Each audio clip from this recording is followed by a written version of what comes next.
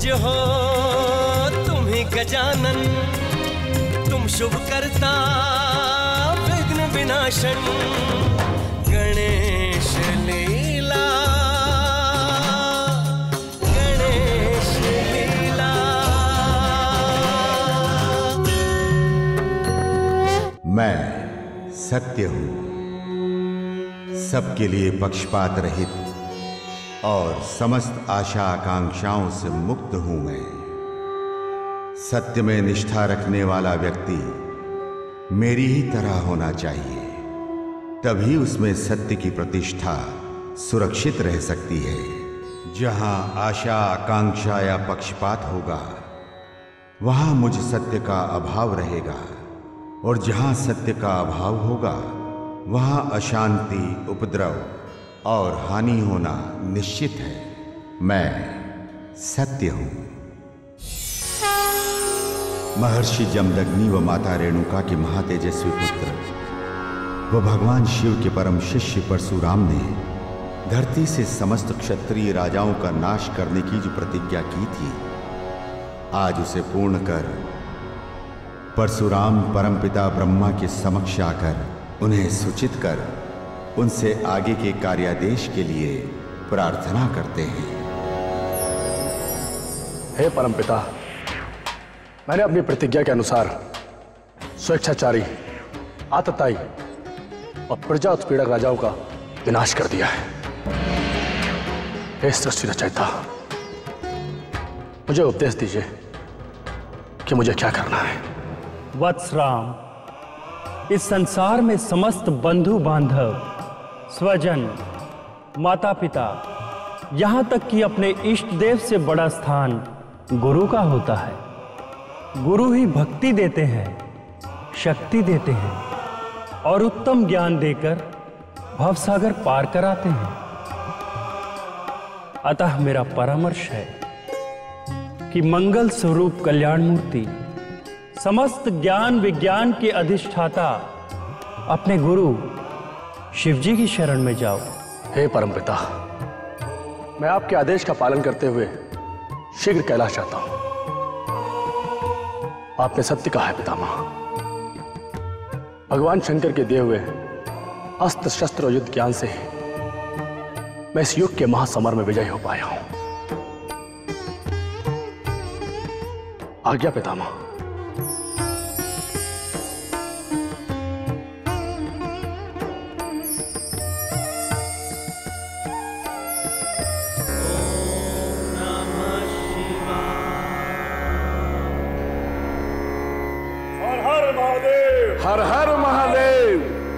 पधारिए रेणुका नंदन मेरा प्रणाम स्वीकार कीजिए।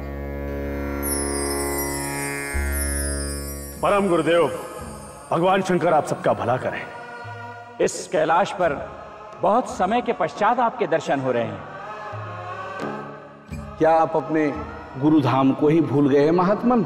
भाइयों अत्याचारी आतताई राजाओं को समाप्त करने में कई वर्ष लग गए। इस बीच यहाँ आने का अवकाश ही नहीं मिला। अनाचारी प्रजा उत्पीड़क राजाओं को समाप्त करने की प्रतिज्ञा पूर्ण होते ही मैं आज यहाँ चला आया। गुरुदेव के दर्शन करने के लिए।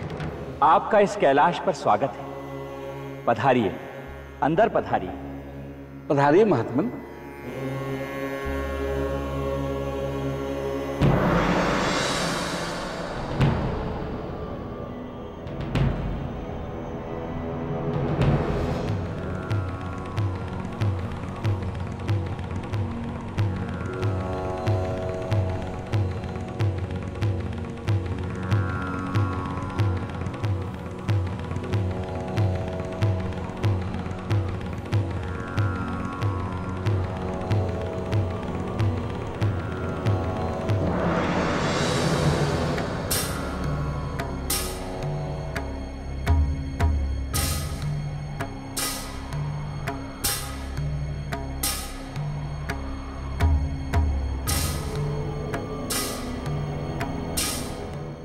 जी। इस समय मेरे माता पिता विश्राम कर रहे हैं। इस समय आप अंदर नहीं जा सकते। बालक तुम मुझे नहीं जानते। मैं भगवान शंकर का शिष्य परशुराम हूँ। आप जो कुछ भी हैं वो ठीक है। पर इस समय आप भवन में प्रवेश नहीं कर सकते। आप चाहें तो मैं आपके लिए पिताश्री से पूछ कर आ सकता हूँ पर तब तक आपको यहीं पर प्रतीक्षा करनी होगी। तुम दोनों बालक कौन हो? क्या तुम दोनों यहाँ पर पहरेदारी का खेल खेल रहे हो? श्रीमान जी सोच विचार कर बोलिए। मैं माता पार्वती नंदन गणेश हूँ। और ये मेरा भाई कार्तिकेय है। बालकों तुम दोनों मेरे गुरुपुत्र होने के नाते मेरे भाई हुए। मैं यहाँ वर्षों बाद आया हूँ ना इसलिए आप दोनों के बारे में नहीं जानता। देखो मेरे गुरुदेव ने मुझे बिना रोक टोक इस धाम में आने का अधिकार दे रखा है। आप मुझे भगवान शंकर और माता पार्वती के दर्शन करने के लिए अंदर जाने दें। कर्तव्य पालन के सामने संबंधों का कोई मूल्य नहीं होता, श्रीमान जी। इस समय तो आप किसी भी हालत में भीतर प्रवेश नहीं कर सकते, समझे?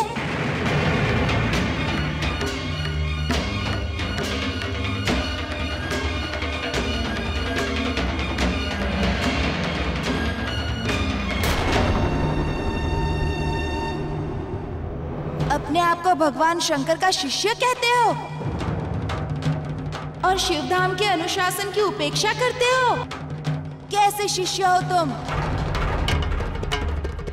क्या पिताश्री से आपने इसी उद्दन दटा का पाठ पढ़ा है? सोच लो, समझ लो। हम दोनों के रहते हुए आप भीतर प्रवेश नहीं कर सकते।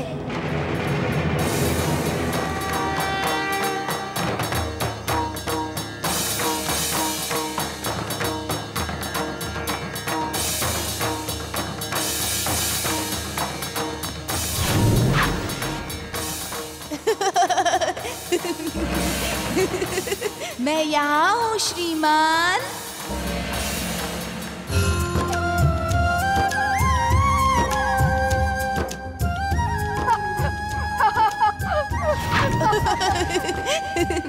मैं यहाँ हूँ श्रीमान जी।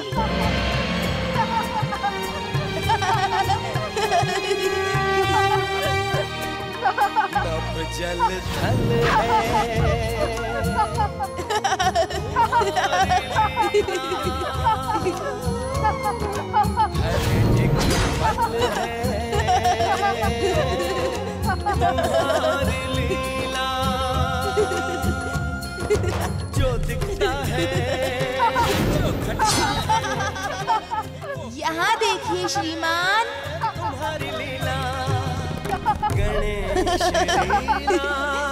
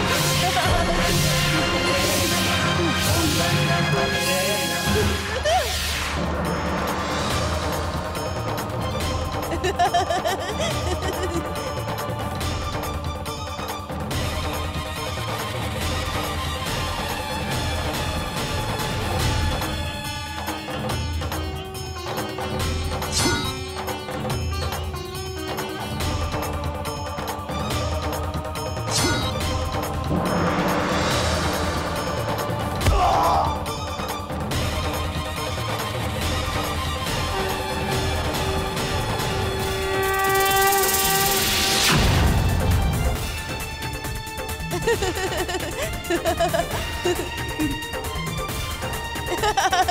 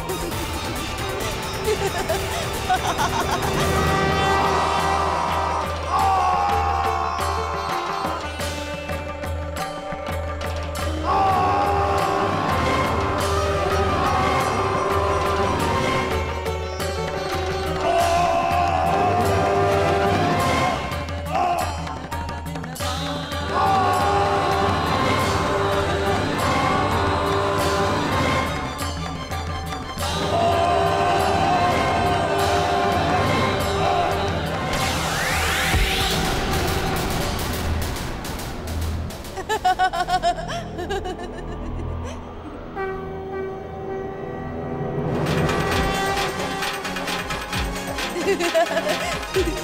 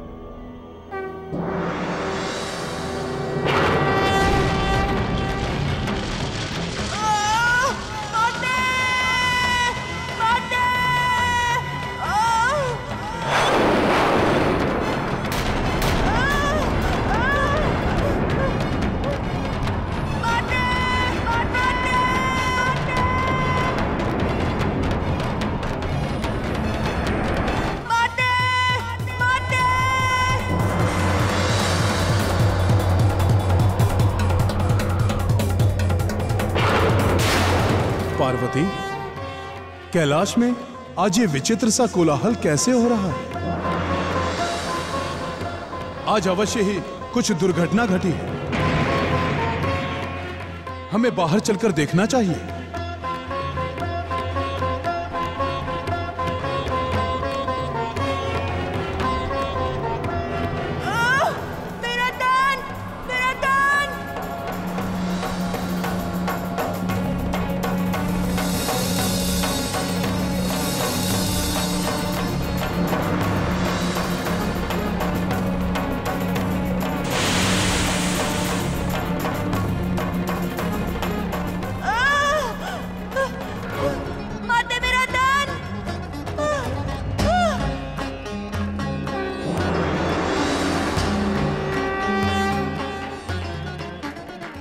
राम महादेव।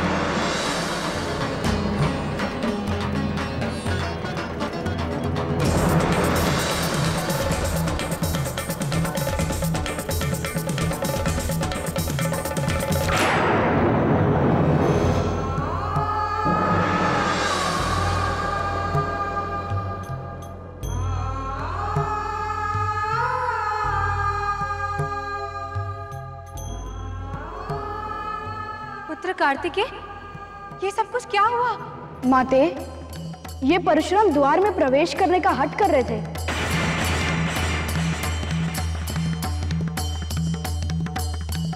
भाई श्री गणेश ने इन्हें समझाया और द्वार में प्रवेश करने की अनुमति नहीं दी। परशुराम शक्ति प्रयोग पे उतर आया।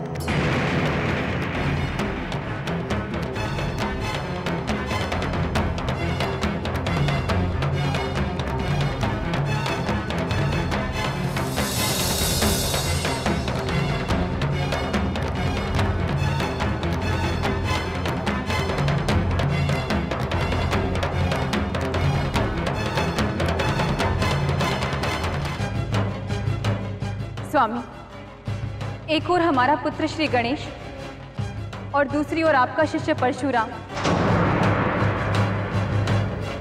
किसका दोष है? इसका निर्णय शीघ्र करें स्वामी।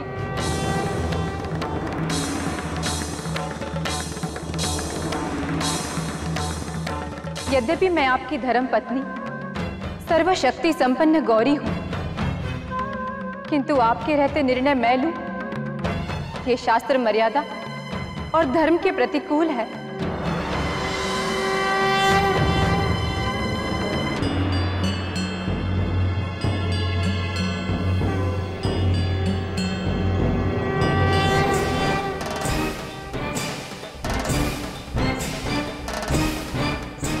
राम, तुम ब्रह्मकुल में पैदा हुए हो ना?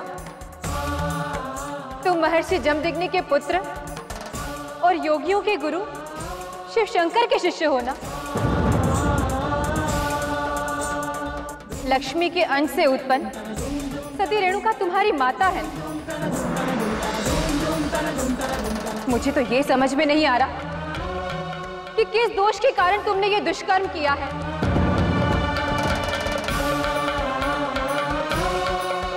यह अमोघ परशु, जो तुम्हें दुष्टों के दमन के लिए मिला है।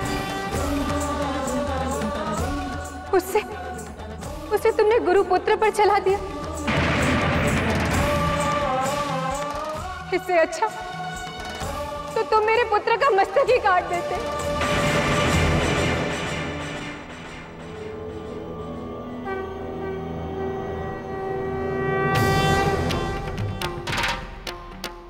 मेरे पुत्र श्री गणेश ने तुम्हारे दिव्य परशु का सम्मान रखा है। अन्यथा तुम्हारे जैसे हज़ार परशुराम को मारने की क्षमता रखता है मेरा पुत्र।